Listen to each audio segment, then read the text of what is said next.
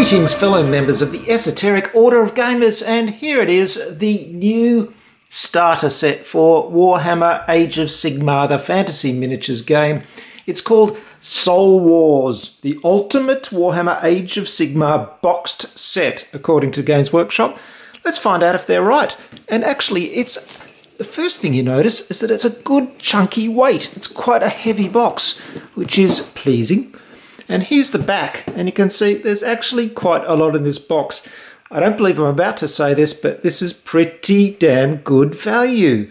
You get a whole lot of the armoured knight fellows, basically space marines in a fantasy world, and you get a whole bunch of these fantastic green ghouly ghosties, which particularly drew me into this set. I really like these ghosts. I think they've got a lot of personality, and that's what I like in my games a bit of character to the miniatures. So let's unbox it together and see what you get inside the Age of Sigmar starter set. First, let's rip off that shrink wrap, shall we? Ah, the joy of taking the shrink wrap off a new game. There's really nothing like it. Ah, there we go. And it's a very attractive box, I have to say. This is very much done in the style of the last Warhammer 40,000 set and then it has this sort of flimsy kind of cover that slides off. I'm not really crazy about that, but I suppose it saves them a few bucks so they can put a couple extra miniatures in maybe. And then you have this kind of thing inside. Nice artwork here, it really gets you into the mood. Big battle between strange griffin creatures and armoured knights against horrible ghosts. Great stuff. Now, how does this work? This lifts out and let's look, it's even printed on the back. And these would be your miniatures. Here they are. A bit of foam in there. Lots of bases. And what do we have? One, two, three, four, five, six small sprues, half-size sprues, and two large sprues. So, lots and lots of building and painting in there, and I'm hoping to take you all through uh, the process of putting together and painting this set. I think it'll be quite fun, and then we're going to play some games together.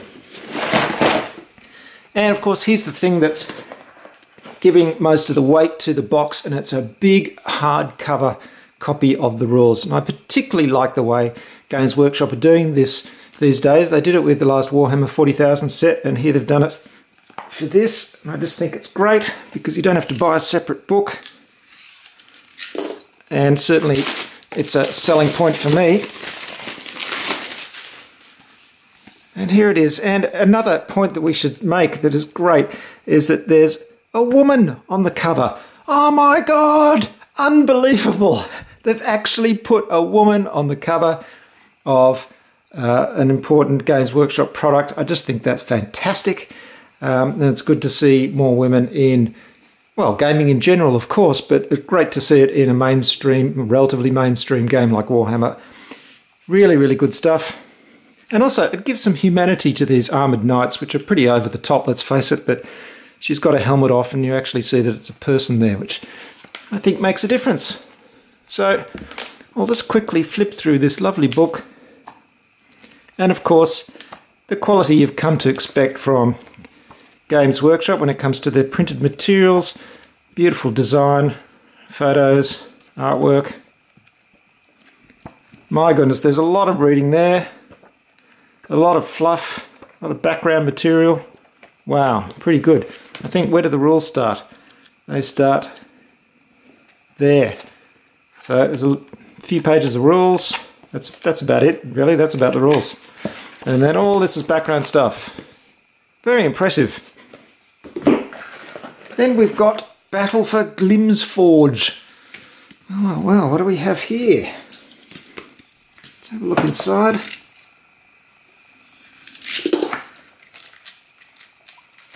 Get that shrink wrap off.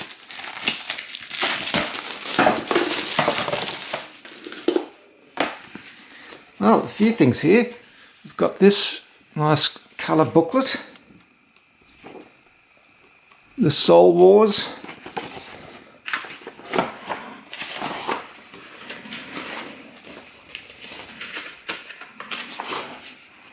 And here's the description of our forces that come in the starter set. Lots of background material, really good, clear photos of the painted miniatures, which is great to use as a guideline. And here's descriptions of the Nighthaunts.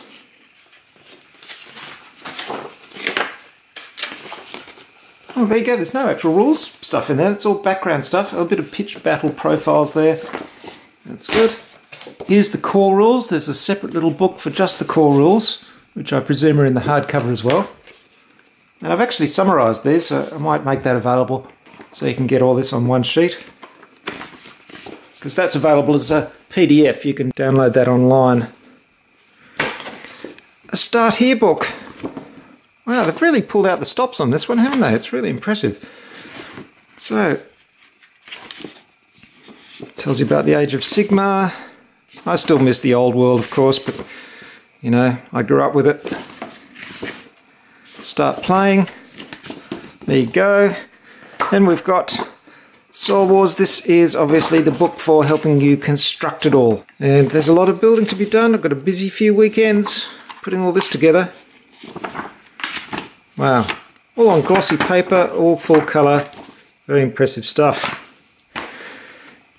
Now this is something that is great to see and wow, certainly past time are these great reference cards for the units. And the amazing thing is, look, there's actually pictures of the units on there, not illustrations, not headshots or anything like that, actual pictures of the miniatures. That is so good to see, so useful you know, this doesn't need redesigning. This, oh look, it's got a full color picture on the other side. These are just great. You can finally just put these in front of you and play the game. I don't know what they're going to do for other units, whether when you buy the units you get these or you have to download them or anything. But these are certainly lovely. I wish they'd make them available for all their units. Look at those. Oh, what's this? This, oh, this one's a folder. Look at the rules. That is just crazy that I've never seen so many rules for one unit in my life. Then again, this is Warhammer, lots of extra exceptions and stuff to remember. It's going to be very interesting playing it. And oh, a few things down the bottom under the cardboard. There's some nice ghostly clear kind of bluish dice. They're very nice. There's a sample chapter from Soul Wars the book. Not really into Warhammer reading, but there you go, some people might enjoy that. Next steps. Yes, please go and buy more stuff from us. Now, I always complain about Games Workshop prices, but I do admit they have done these uh, press fit together uh, boxes, which are much cheaper, in fact, almost reasonably priced, which is just great to see. Uh, the normal box sets are still ridiculously priced, especially down here in New Zealand, and um, especially for individual figures. But these easy to put together sets are a pretty good value. And finally we have a tiny little transfer sheet and a little clear ruler, which is very nice. Give me a tape measure any day, but it's nice of them to put this in. Now, of course, the miniatures are the usual excellent Games Workshop quality. It's great detail and a lot to put together, but hopefully I'll be bringing you some more videos in future on putting these together, painting them, and then what I'd like to do is a series of videos actually playing the games in Soul Wars and seeing what they're like. And I'm hoping to do that from some different perspectives. So stay tuned for that and we'll go closer and in more detail into the world of Warhammer Age of Sigmar Soul Wars and see what it's like. Will this be the start of a new interest in this flagship fantasy miniatures game by the huge Games Workshop? Or will I find it disappointing? I don't know. It's going to be interesting to see.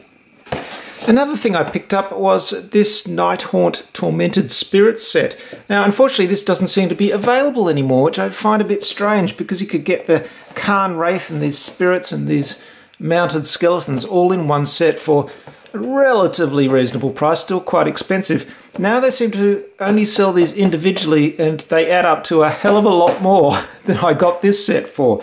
In fact, this Cairn Wraith alone is 27 New Zealand dollars. And if you have a look at it,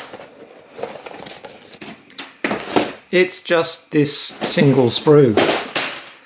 Yep, $27 for that. Well, quite pricey, but luckily I managed to get a set of this on eBay, and this should bulk out my Spirit Army a little bit because I think the points cost of the Ghost Army was a little less than that of the Armored Knights. What are they called? Stormcast Eternals or something silly? So that's it, folks. Warhammer Soul Wars. I hope you've enjoyed this unboxing. and I hope you enjoyed the content to come on Warhammer Soul Wars. That's all coming up on the Esoteric Order of Gamers, orderofgamers.com. Thanks very much for watching. We're on Patreon if you choose to support me. I really appreciate it. See you next time.